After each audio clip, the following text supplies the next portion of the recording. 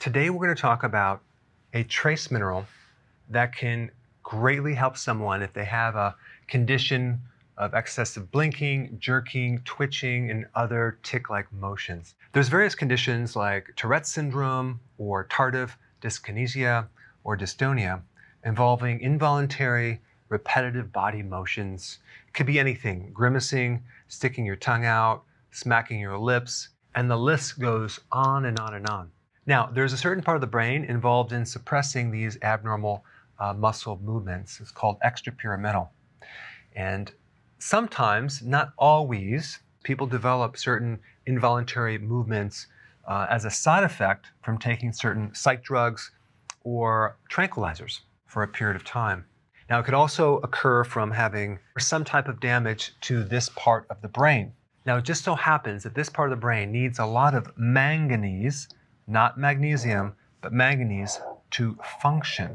And there's some interesting research on taking this very inexpensive trace mineral, 10 milligrams three times a day, and improving these symptoms. And sometimes it's a combination of taking something that's depleting your manganese or other nutrients and not consuming the foods high in a certain nutrient. Manganese is in spinach, it's in almonds, it's in bran. Now, the problem is spinach and almonds are high in oxalates, and oxalates block the absorption of manganese. So if you're consuming a lot of these, you're probably not going to get enough manganese. Also, bran in grains, which we don't recommend, is loaded with manganese, but this has something called phytic acid, which blocks manganese, which is a trace mineral. So if you're expressing these symptoms, I really don't believe that you're going to be able to uh, get enough manganese from your diet. You're going to have to take it as a supplement, 10 milligrams three times a day.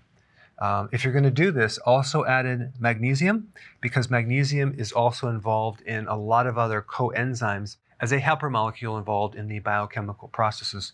Also add vitamin B3, that's called niacin. But let's look at some other effects that can occur if you're deficient in manganese. All right, blood sugar problems.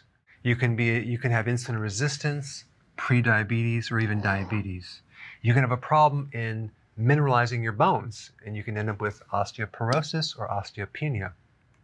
You can have impaired growth. So, if your mother was deficient in manganese when she was pregnant with you, uh, you may not reach your full growth. Also, you may have skeletal structural abnormalities.